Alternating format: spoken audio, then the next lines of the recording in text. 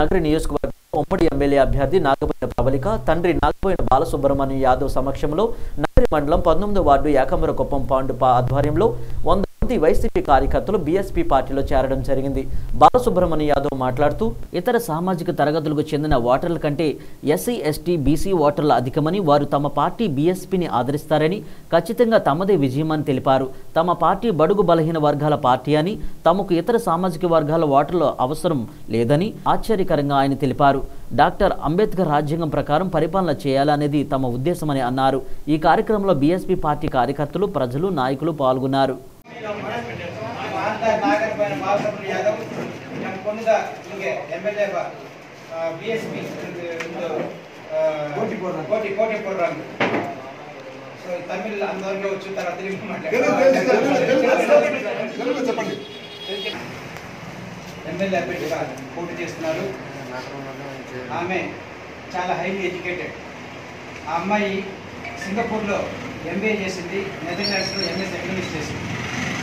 ఆ అమ్మాయి అనుకుంటే బయట దేశాల్లో నెలకు ఐదు లక్షలు పది లక్షలు సంపాదించేసి సీట్ అవ్వాలి అలాగా ఒక దగ్గర ఉద్యోగం చేయకూడదని ఉన్నారు మనతో మనం ఏదైనా సేవ చేయాలనే ఉద్దేశంతో ఇక్కడికి వచ్చి కొన్ని కంపెనీలు పెట్టి ఒక బిజినెస్ చేస్తూ ఉంది.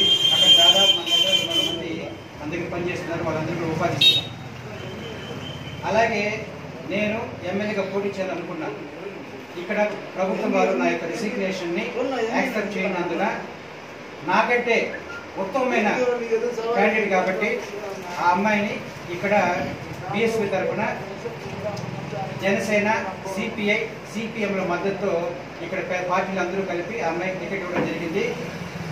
బిఎస్పీ పార్టీ టికెట్ అంటే మామూలు విషయం కాదు. మాయావతి గారు ఉత్తరప్రదేశ్లో నాలుగు సార్లు సీఎం అయ్యారు. అలాగే ఈరోజు పవన్ కళ్యాణ్ గారు ఆయన అన్ని యొక్క సుఖాలని వదిలేశ్వరంతో ఇద్దరు సిపిఐ సిపిఎంలతో పొత్తు పెట్టుకొని ఈరోజు నది నియోజకవర్గాల్లో బీఎస్పీ తరఫున పోటీ చేయడం కోసము ప్రవళిక యాదవ్కి అవకాశం ఇవ్వడం జరిగింది. ఈ యొక్క పార్టీ బీఎస్పీ యొక్క ఉద్దేశం ఏంటంటే రాజ్యాంగం ఉంది కదా అంబేద్కర్ రాసిన రాజ్యాంగం. దాన్ని యథాతథంగా అమలుపరచడమే ఆ యొక్క మేనిఫెస్టో. అంతే తప్ప అబద్ధపు మాటలు చెప్పేసి నేను అది చేస్తా ఇది చేస్తా నీళ్ళు ఇస్తా పెన్షన్ ఇస్తా ఊళ్ళో కాలువలు తీయిస్తా లేకపోతే గుండు కొట్టిస్తా లేకపోతే గడ్డకి ఇస్తా అని చెప్పే పార్టీ కాదు వాళ్ళ విధానం ఏంటంటే రాజ్యాంగ ప్రకారము మనకు ఏదైతే రాజ్యాంగంలో రాసిందో ఆ హక్కులన్నింటినీ కూడా మన పౌరులు కల్పిస్తాము అనే ఒక ఉద్దేశంతోనే ఆ పార్టీ అందరికీ అన్ని పనిచేస్తాము. నగిరి మున్సిపాలిటీకి సంబంధించిన పంతొమ్మిదో వార్డులో మొదలయాల్సి ఎక్కువ ఉంటారు మొదలయాల్సి అందరూ వంద మంది దాకా. మనం